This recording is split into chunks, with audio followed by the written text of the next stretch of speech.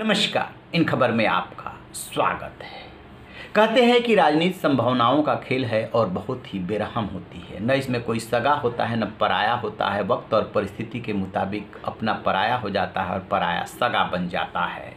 लोक जनशक्ति पार्टी में रामविलास पासवान के न रहने के बाद जो कुछ भी चल रहा है, उसमें साफ़ दिख रहा है कि अब चिराग पासवान बीजेपी को अच्छे नहीं लगते। उनकी एंट्री एनडीए में लगभग बंद हो चुकी है। कल जिस तरीके से उनके चाचा पशुपत पारस और चचेरे भाई प्रिंस राज, केंद्रीय गृह मंत्री अमित शाह से मिले तस्वीरों में आप देखेंगे, उससे साफ़ संकेत दिया जा रहा है उनको। कम से कम तीन घटनाक्रम ऐसे हुए हैं जिससे चिराग पासवान को समझ जाना चाहिए कि अब वो राम यानी प्रधानमंत्री नरेंद्र मोदी के लिए चिराग पासवान रूपी हनुमान की ज़रूरत नहीं है।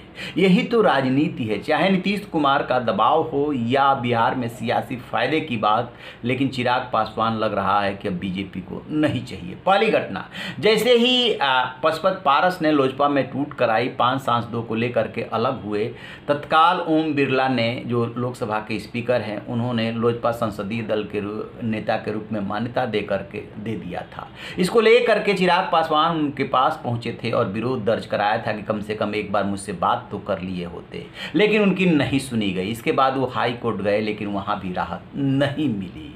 चिराग पासवान का तर्क था कि वो पाँचों सांसदों को पार्टी से निकाल चुके हैं। लिहाजा पशुपत पारस को ऐसे मान्यता नहीं दी जानी चाहिए थी। इसके बाद उन्होंने प्रधानमंत्री नरेंद्र मोदी को भी चिट्ठी लिखा कि उनको मंत्री बनाना है, मंत्री बनाइए, लेकिन निर्दलीय के रूप में। प्रधानमंत्री नरेंद्र मोदी ने उनकी चिट्ठी का संज्ञान नहीं लिया। उसी रूप में उनको शपथ दिलाई गई, कैबिनेट मंत्री के रूप में शपथ दिलाई गई।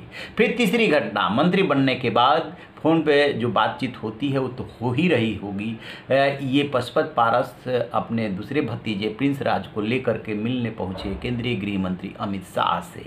आधे घंटे तक गृह मंत्री के घर पे दिल्ली स्थित जो उनका निवास है, मुलाकात चली है और उसमें जो भी खिचड़ी पकी हो। लेकिन ये तस्वीर बता रही है कि तीसरी घटना कोई मामूली नहीं इससे साफ़ संकेत दिया जा रहा है, संदेश दिया जा रहा है चिराग पासवान को कि अब दरवाजे हैं उनके लिए बंद, क्योंकि हम तो असली लोजपा इन्हीं को मानते हैं। अब चिराग पासवान के सामने सबसे बड़ा सवाल ये है कि वो क्या करेंगे? एक तरफ़ उन्होंने अपने पिता की जन्मतिथि पाँच जुलाई से जो उन्होंने आशीर्वाद यात्रा निकाली, उसको तो कर ही रहे हैं और उसमें अपने को मज़बूत करने की कोशिश कर रहे हैं। दूसरा उनके सामने विकल्प है कि लगातार महागठबंधन, यानी कि आरजेडी, कांग्रेस से और जो भी उसमें दल शामिल हैं, उनको ऑफ़र मिल रहा है कि इधर आ जाइए। अभी तक वो इंतज़ार कर रहे थे कि शायद प्रधानमंत्री नरेंद्र मोदी उनका संज्ञान ले ले। क्या उधर जाने से उनको फ़ायदा है? क्योंकि उसमें उन्होंने टाइम बारो कर लिया था।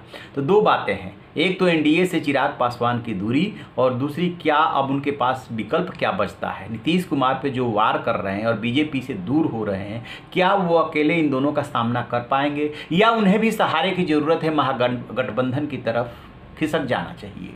ये उनके सामने यक्ष प्रश्न है, बड़ा सवाल है। होता क्या है कि राम विलास पासवान जब तक थे, तब तक परिस्थितियाँ एकदम अलग थी, अब चिराग पासवान अलग थलग पड़ गए हैं।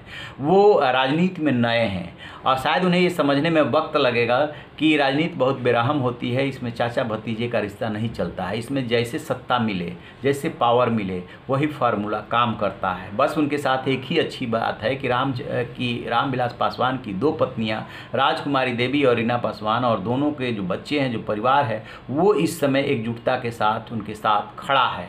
और बिहार में जो भी यात्रा निकाल रहे हैं, वहाँ भी उनको समर्थन मिल रहा है। अदरवाइज़ यदि आप राजनीतिक गुणा भाग लगाएँगे तो चिराग पासवान के फेवर में कहीं कोई बात अभी नहीं जा रही है। लेकिन ये राजनीति है। यदि चिराग पासवान ने ज़मीन पर अपने को मज़बूत कर लिया और वो बिहार में सीटें दिलाने या समीकरण बिगाड़ने की स्थिति में आ जाएँगे, यही बीजेपी उनको गले लगा लेगी और पशुपत पारस को छोड़ देगी। लेकिन वो तो बाद की बात है कि आगे क्या होगा। फ़िलहाल चिराग पासवान के पास विकल्प ज़्यादा नहीं है। तो वहाँ की राजनीति पे और लोक जनशक्ति पार्टी में जो टूट हुई है, उसमें जो कुछ भी चल रहा है, उस पर हमारी नज़र है। जैसे कोई अपडेट मिलेगा, आपसे साझा करेंगे। आप रहिए न बेखबर, देखते रहिए इन खबर। Thank you.